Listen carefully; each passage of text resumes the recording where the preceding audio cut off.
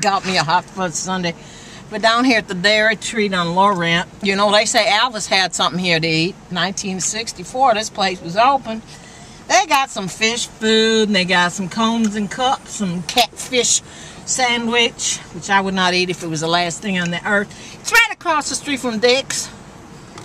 Show them Dick's, Olivia Dick's food store. Yeah, this is kind of like life right here in Victoria, and they got a lot of construction around here.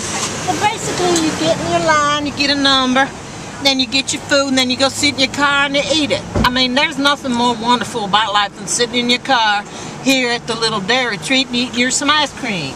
Ooh, I should have got me a napkin. This is Blanche in Victoria. Mmm. Putting on about five pounds on a Friday night.